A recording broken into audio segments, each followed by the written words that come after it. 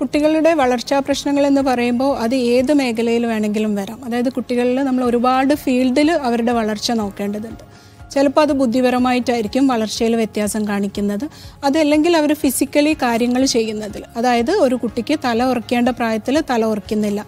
അല്ലെങ്കിൽ അവർ ഇരിക്കേണ്ട പ്രായത്തിൽ അവർ ഇരിക്കുന്നില്ല നടക്കേണ്ട പ്രായത്തിൽ അവർ നടക്കുന്നില്ല. ഇതും അല്ലെങ്കിൽ സംസാരിക്കുന്ന ഏരിയയിലായിരിക്കാം. അതായത് കുട്ടി നോർമലി രണ്ട് വേർഡ്സ് കൂട്ടി പറയേണ്ട പ്രായത്തിൽ അവരത് കൂട്ടി പറയുന്നില്ല അല്ലെങ്കിൽ ആദ്യമായിട്ട് അച്ഛ അമ്മ എന്ന് വിളിക്കുന്ന പ്രായത്തിൽ കുട്ടികളത് പറയുന്നില്ല. അതും കുട്ടിയുടെ വളർച്ചാ വളർച്ചാക്കുറവ് തന്നെയാണ്. ഇതുമല്ലെങ്കിൽ സാമൂഹികമായി ഇടപെടുന്നതിൽ അതായത് ഒരു കുട്ടി ആ കുട്ടിയുടെ പ്രിയർ ഗ്രൂപ്പ് എന്ന് പറയും സെയിം ഏജുള്ള കുട്ടികളുമായി കളിക്കണം. അങ്ങനെ ഓരോ കുട്ടിയുടെ സാമൂഹികമായിട്ട് കുട്ടികൾക്ക് ഓരോ മൈൽ സ്റ്റോൺ ഉണ്ട്. അതും കുട്ടികൾ ചിലപ്പോൾ ഡിലേ കാണിക്കാറുണ്ട്. ഇങ്ങനെ എല്ലാ ഫീൽഡിലുള്ള ഡിലേസും നമ്മൾ നേരത്തെ തന്നെ ഐഡന്റിഫൈ ചെയ്യേണ്ടതുണ്ട്. ഓക്കെ നമ്മൾ ഈ ഗർഭകാലത്ത് തന്നെ ഇത്തരത്തിലുള്ള കാര്യങ്ങളിലൊക്കെ ശ്രദ്ധ കേന്ദ്രീകരിക്കണമെന്നാണ് തോന്നുന്നത്. കുട്ടിയുടെ വളർച്ച ആ ഘട്ടത്തിലാണല്ലോ നടക്കുന്നത്. അപ്പം ആ, ഒരു ഘട്ടത്തിൽ എങ്ങനെയൊക്കെ ആയിരിക്കും നമുക്ക് കൂടുതൽ കെയർ കൊടുക്കാൻ സാധിക്കുക? ഇപ്പോൾ ആഹാരത്തിന്റെ കാര്യത്തിൽ വരെ അത്തരത്തിലുള്ള കെയറിങ് നൽകേണ്ടതുണ്ട് എന്നാണ് തോന്നുന്നത്. അതെ. ഈവൺ അമ്മമാരുടെ മെന്റൽ ഹെൽത്ത് പോലും ഇമ്പോർട്ടന്റ് ആണെന്നാണ് റീസെന്റ് സ്റ്റഡീസ് ഒക്കെ പറയുന്നത്. അതായത് ആദ്യത്തെ മൂന്ന് മാസത്തിൽ അമ്മ ടുബാക്കോ ഉപയോഗിക്കാൻ പാടില്ല ആൽക്കഹോൾ ഉപയോഗിക്കാൻ പാടില്ല. അതോടൊപ്പം തന്നെ ഇമ്പോർട്ടന്റ് ആണ് അവരുടെ മെന്റൽ ഹെൽത്ത് ഇത് കൂടാതെ ന്യൂട്രീഷണലി അതെല്ലാവരും ചെയ്യുന്നതാണ് നമ്മൾ ഫോളിക് ആസിഡ് കഴിക്കുന്നതും അയൺ കഴിക്കുന്നതും. കാൽഷ്യം കഴിക്കുന്നതും ഇതെല്ലാം ഇമ്പോർട്ടന്റ് ആണ്. അതോടൊപ്പം തന്നെ ഈ പറഞ്ഞ കാര്യങ്ങളും ഇമ്പോർട്ടന്റ് ആണ്. ഓക്കെ ഡോക്ടർ നമുക്കൊരു കോളർ ഉണ്ട്. കോളറിലേക്കാണ് പോകുന്നത്. പാലക്കാട് നിന്നും ജലീലാണ് വിളിക്കുന്നത്. ജലീൽ സംസാരിക്കാം. മർമ്മകൾക്ക് വേണ്ടി വിളിക്കുകയാണ്. ഇപ്പോ മാസം എട്ട് മാസമായി.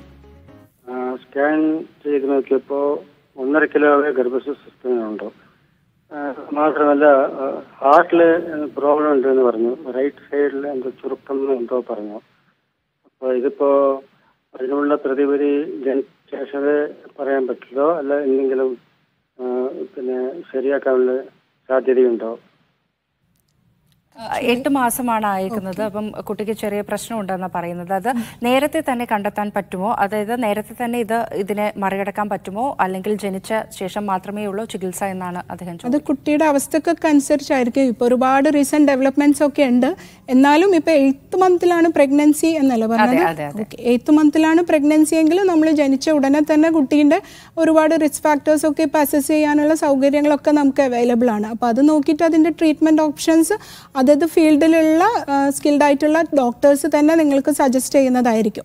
പിന്നെ നമ്മൾ നോക്കേണ്ടത് കുട്ടിയുടെ ഒരു ഡെവലപ്മെന്റൽ സ്ക്രീനിങ് നമ്മൾ എപ്പോഴും ചെയ്തുകൊണ്ടിരിക്കും. അതായത് ടു മന്ത്ലി കുട്ടി ചെയ്യേണ്ട കാര്യങ്ങളൊക്കെ ചെയ്തിട്ടുണ്ടോ?